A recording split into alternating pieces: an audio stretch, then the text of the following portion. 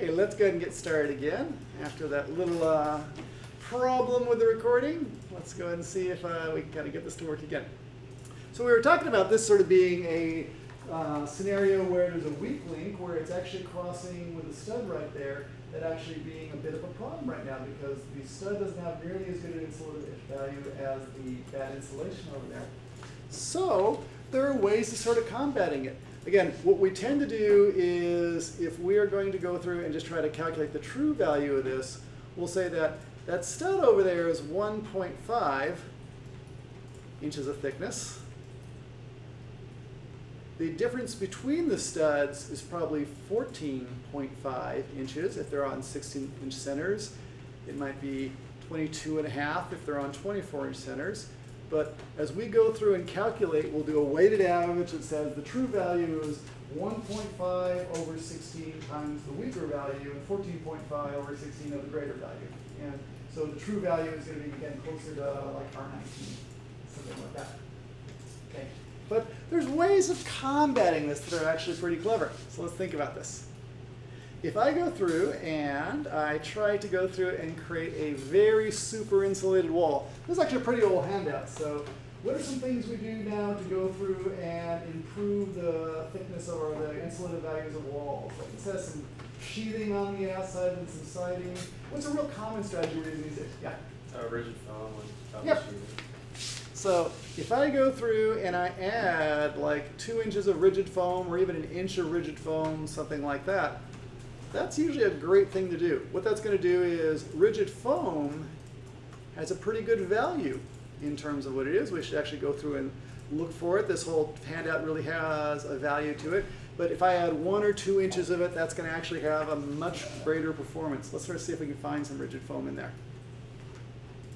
If I come zipping on down here, let's see what I got. Gypsum, hardboard, framing lumber. Okay, fiberboard, doors, masonry unit. Flooring, concrete blocks. Concrete. You'll find out concrete is actually a very bad insulator. It doesn't do a very good job at all. Roofing, windows. Let's see what we have in here. Ah, here we have some values over there. Polyisocyanurate. I love that word. Um, has an R value of about 6 per inch. So if I added 1 inch, that'd be an R value of 6. If I added 2 inches, it'd be an R value of 12 that we're adding. So 2 inches of polyisocyanurate is about as good as 3.5 inches of batt insulation. So inch for inch, it's actually a pretty good material to be using. You know, you can greatly increase the uh, value of the insulation. Okay, polyurethane is very good. Polystyrene is not as good. It's pretty good, but it's still uh, not as good as some of the other ones. So what you really do is go through and you can sort of add things together, but you can kind of you know, uh, make a you know, better wall by adding some foam all the way across the top of it. That's kind of a really good thing to do. So I'll add my foam out here. Pick up another R12 or something like that by adding two inches. Okay, so far so good. We still have a weak spot there. And that, even though I've increased it by 12, that is still the weak path in here. In fact, the way they're calculating it here in section AA, the 2 by 4 stud, it has a value of around 4.38, whereas the batt insulation sitting around over here had an R value of like, uh, like 18 or something like that. So we're pretty off in terms of the comparative value of those. That's about four times as good as that. So here's what you can do. You can say, okay, great, I'm going to make my wall even thicker. And if I make my wall even thicker, I'll be able to get more batt insulation in there. That sounds like kind of a good strategy. So I'll make this even thicker in here, and I'll add even more batt insulation in here. And then I'll have my board out here. But even at this point, I still have a weak spot. I have that weak link between the two. So let's talk about, is there any way you can think of to go ahead and beat that? What can I do to eliminate that problem where I have a weak link going through? Have you seen any creative strategies? I've seen some interesting ones. The, uh, the Germans are particularly interested about in their passive house design standards, coming up with ways to break. This is really like a thermal link, and they find ways to break that link. Yes, what do you think, Carl? A plastic spacer. Ah, that would actually be good. If you thought about sort of putting just some sort of a spacer in here to break that link, all the better if it's sort of super insulative of some type. You just want to keep the heat from flowing through there. So that's pretty good. Another strategy they'll use that I think is actually very clever is they won't go with very thick walls. They'll actually sort of put a second 2 by 4 wall right next to the first 2 by 4 wall. But what they'll do is this. They'll put the studs over here and the studs over here so that the insulation's in here. Okay? And you never really have the direct path. Okay, it's always offsetting. So it's just kind of a really clever way of doing it, that you get sort of the same thickness of wall, but because it's offsetting, for the most part, you never get the full penalty of that leak. You always have like half of it being fully insulated, the other part being partially insulated. So it's a lot of clever things you can do with R values. The big thing is the more insulation you add, or always go looking for materials over here that have the best values. Oops, over here. And in this table, there's just an awful lot of you know, different types of walls. So for example, here's that sort of offset double studs. There's an offset with a, even a gap between them with our 11 batts. So there's a lot of different ways we can look at it. So there's a lot of good guidelines in here. Just take a look at this document. It'll give you a lot of information about R values. Okay. Next up in my special topics, I want to talk to you about just energy use and energy use intensity and really how much you should be concerned about that. Because as we go through and talk about energy use, we'll often hear people saying, oh, what's the energy use intensity of your building? And kind of the important question to ask is really at a high level, like, oh, what should it be? We know that generally we want it to be lower. The question is really, what is good? And let's think about how you can actually determine that. So here's the deal. And here's the hard part about talking about energy use intensity.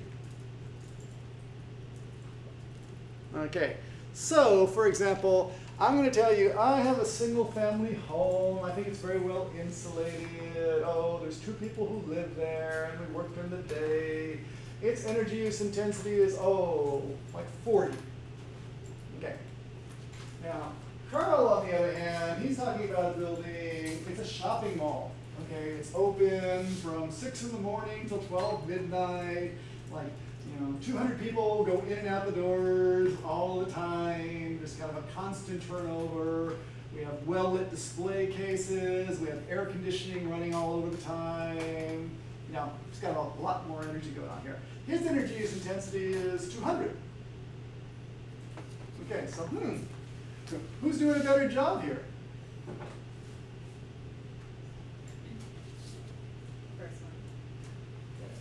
It's hard to tell. it really is. Because the problem is, it's really hard to compare my case to his case. It's really, you know, if you put more people in the building, you're going to use more energy.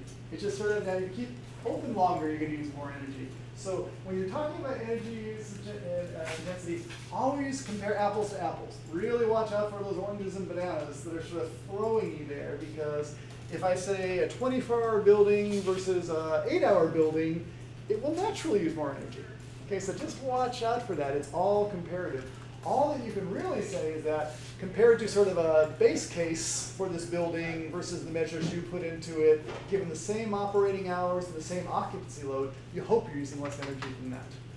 Okay, so watch out for EUI. It's kind of one of these real tricky figures because you really have to qualify it with the whole issue of uh, you know what kind of building you're talking about. So let's give you some just EUI guidelines. It's kind of an interesting presentation okay, about EUI and just how you think about it. And really, the point of the whole thing is at a high level, there's all these numbers floating around, but it's really hard to sort of say what a target EUI should be.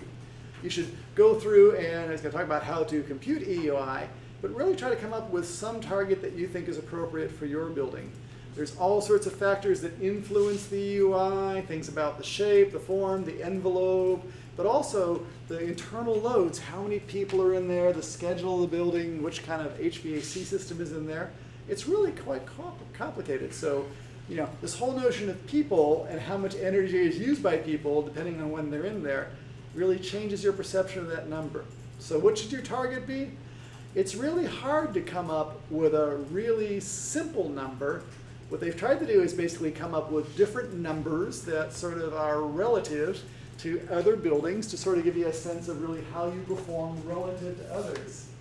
So the idea is that, oh, for a range of buildings, like office buildings in this case, you could have incredibly good performers at the 100th percentile, but a very small number of them there. You have very poor performers, very old buildings that have very bad insulation and are not doing very good. But they have tried to basically go through and figure out distributions for each of these different type of buildings and figure out really where the 50% point is on those different distributions and then use that as a target for those types of buildings. So they've come up with some guidelines just to sort of help you understand based on your type of building what your target should be. So there's all sorts of different targets here. You'll notice that, for example, if you were in the western United States, okay, your targets are a little bit lower. In the east, they're a little bit higher. Okay? In the southeast, they're a little bit lower. It's kind of interesting. Here's southwest versus west. The west target's actually a little bit lower than the southwest one. Why might that be? The southwest has really good sunshine. So why is the southwest actually worse than the west?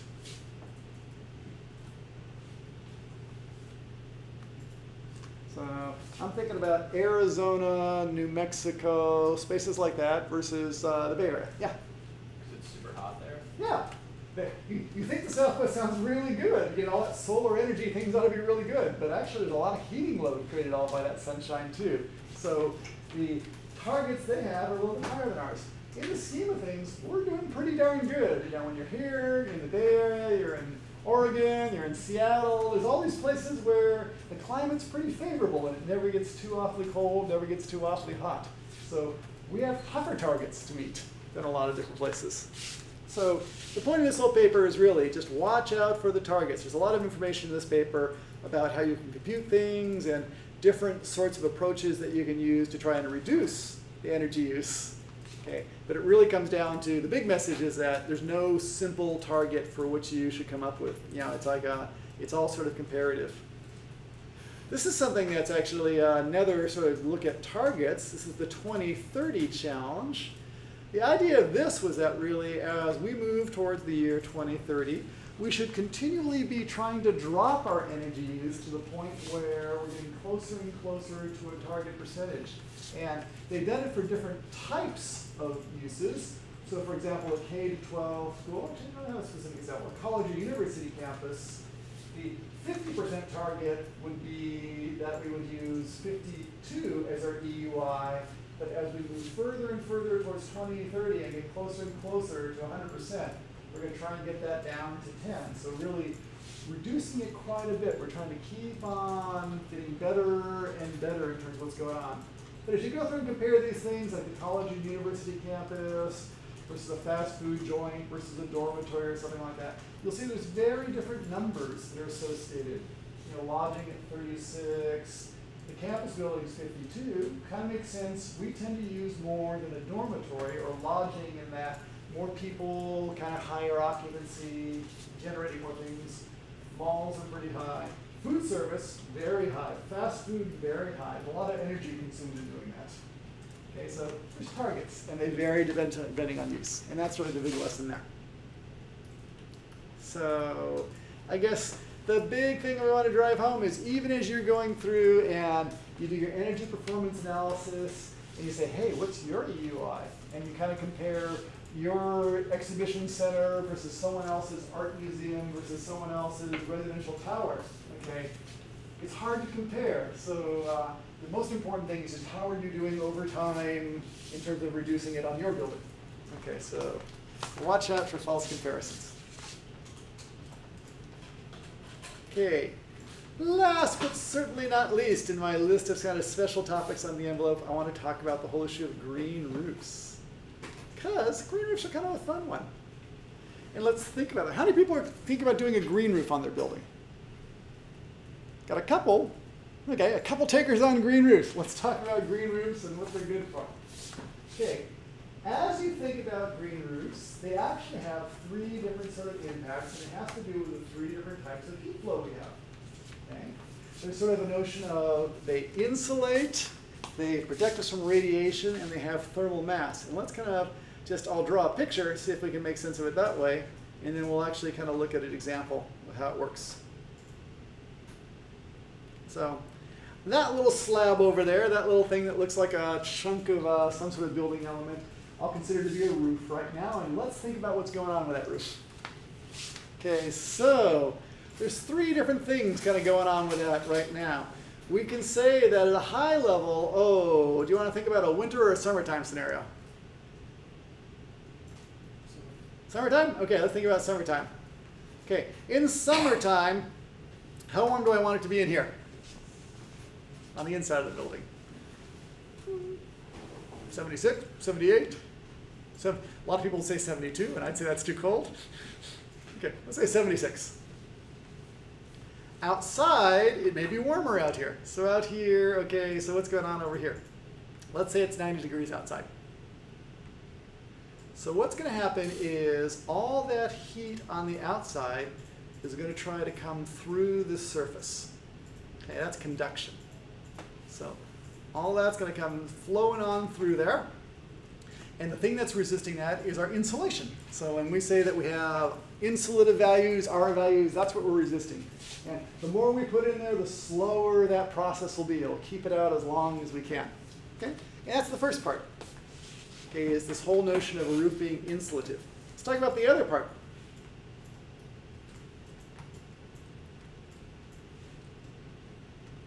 The sun's kind of hanging around over here, and the sun's sort of beating down on this thing.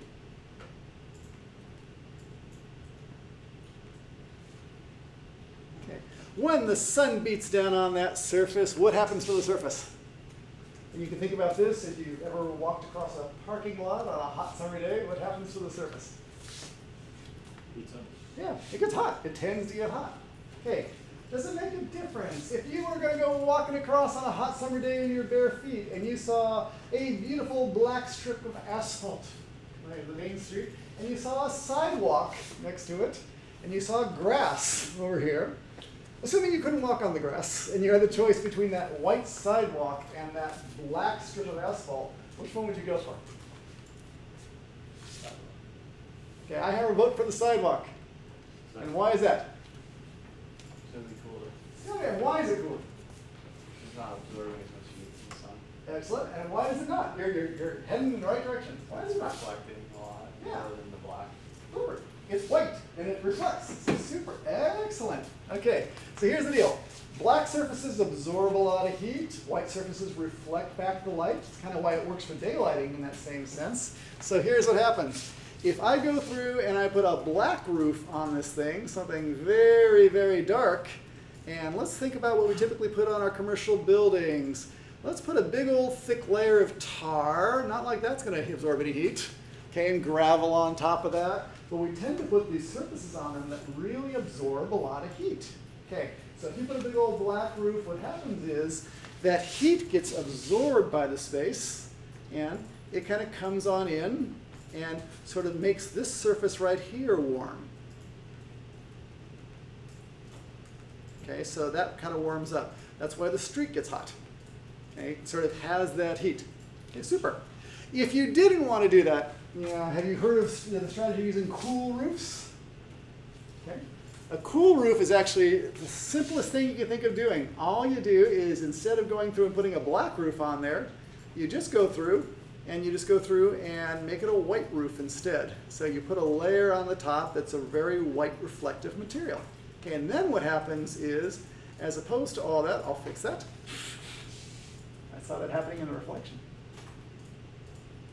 Okay, as opposed to all that sun going down and being absorbed, it reflects back off, so it pops back off.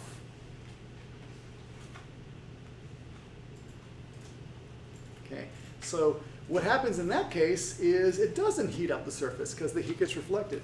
So this is radiant heat. The radiant heat comes on down, it gets absorbed, or if it gets reflected and you have some sort of a radiant barrier, then it keeps cool. So you're in pretty good shape. But radiant heat, you all know that if you're like on a winter day, you sit in the sunshine, it just feels good on your skin because you're just absorbing all this radiant energy. The third aspect of this is the notion of thermal mass. Let's talk about this. Okay. If I go through and have a piece of concrete or asphalt that's sitting out there in the sun, okay, and absorbing heat, and I put a piece of, oh, like aluminum or tin or something that's relatively lightweight out there, okay, and then I turn off the sun, or I take them back inside or something like that, know, how long is it going to take those things to cool down? So if you have a very thin aluminum or something like that, how long does it take that to cool down? Not that long. Yeah, pretty quick. It just dissipates the heat very, very quickly. Whereas that chunk of concrete over there, it has all that energy stored in it.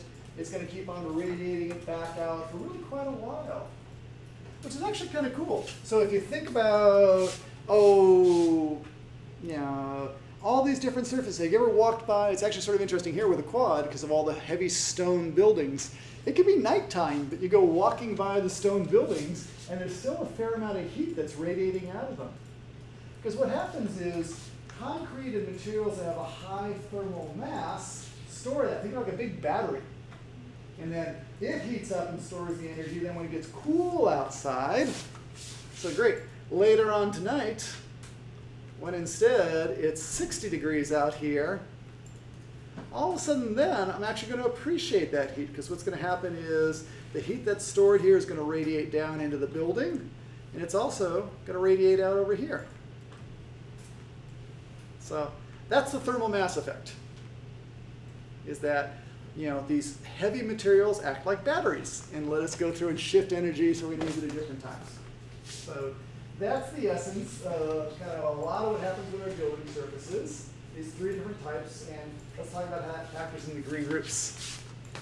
Okay, so here is the upshot on green roofs. There's some really interesting papers that kind of present some research uh, that was done on green roofs and really thinking about their benefit. So as you think about a green roof, what do you think its benefit is? Do you think it's a better insulator, a radiant barrier, or a thermal mass, or how do you think it sort of rates on those three factors? Do you think green roofs are good insulators? Okay. How about radiant barriers? Do you think they block the radiation? How about thermal mass? Okay. They tend to be pretty good in three different ways. You're going to find that's why they're so popular. They're actually a pretty good strategy for all three of those things. But let's talk about, oh, there's a little variation on the theme you want to know about. Okay. There is in this paper, Building Energy Effects of Green Roof Designers. I think it's this one. Let's take a look at it. There's all sorts of information about green roofs. In here, there are examples of green roofs, and this is kind of a typical green roof. You see that it typically has the roof decking, some protection, some insulation, some waterproofing. Then we'll have an air layer, some sort of layer where it can drain. We'll have some sort of filter fabric, which basically keeps the earth from um, washing away into that medium. And finally, we have planting on the top. And we have that layer kind of right in there where that tends to be thick. So that's kind of a typical green roof construction. You can model this in Revit. You can make a multi-layer assembly and use it as your green roof. The effect, though, is a little sort of surprising in terms of how it all works. For green roofs, we have all sorts of stuff about maximum roof temperatures and the heat flux through the day. There's a lot of stuff in here in terms of that, you know, what the effect of the green roofs is. But let's talk about really like what the biggest impact is. When it comes to thermal conductivity, here's the rub about green roofs. Now, dry soil is a pretty good insulator. Okay. Wet soil is not such a good insulator because water actually conducts heat very, very well. So the problem with green roofs is if the soil gets wet, then it's not nearly as good an insulator as it used to be. So the heat flows through that. So if you look at it strictly from a thermal conductivity st standpoint, it's not necessarily a very good insulator. It's not as good an insulator as you think it is. That's what's going on. Yeah. The other notion, though, of it being a good radiant barrier, that's certainly true. If there's grass or planting up there and that's not absorbing all the energy, yeah, and the earth is basically keeping the radiation from getting into the roof, that's pretty good. Now, you're not going to go ahead and have the radiant energy. But really, where the biggest effect really tends to happen is due to the thermal mass effect, and it's this sort of effect. What happens is, in a typical building, it heats up rapidly, but it also cools off rapidly because the roof is a very thin layer of material. If you add a green roof on there, because a cool roof, this a cool roof just basically says we're gonna keep it from absorbing. It doesn't heat up as much, but it still cools off significantly at night. Okay. In a green roof, what happens is it doesn't heat up nearly as much, but it does store the heat and stores the heat nicely so that at night it re-radiates the heat nicely and you get this very kind of steady temperature through the day and night. So it takes the hottest times and cools them down. It takes the cooler times and sort of warms them back up a little bit. And that's why thermal mass is such a good thing and why even here in Y2E2 we have all this concrete that's exposed. It's all about thermal mass. You want to have that to kind of hold nice constant temperatures throughout the day. So, I don't know. That's pretty much it in terms of what I want to share with you immediately on Green Roof. There's a lot of data we can get into in terms of all sorts of case studies and thinking about why they're so effective. But if you are thinking about them, kind of just realize the reason they're so effective, it isn't necessarily just the thickness of the roof in terms of the conductive value. It's actually the thermal you're. And even if you put that into Revit, you'll see that you know, as you add layers of earth, it really creates quite a bit of thermal mass, which is very good at storing heat or cool and kind of working through the day. The biggest thermal mass we have is the earth, okay, and that's why it holds such a nice constant temperature. It just, uh, even though it gets changes at the surface, it uh, below the surface doesn't swing very widely at all. Okay, let us do this. Okay, let's go and take our break now. Uh, we will answer some questions if you want to. Get ready for office hours later. But what I want to do is after the break, shift to thinking about structure. And we're actually going to use some examples of uh, models in this class to go through and think about how we can apply structure. So please come on back and join us in about five minutes and we will continue.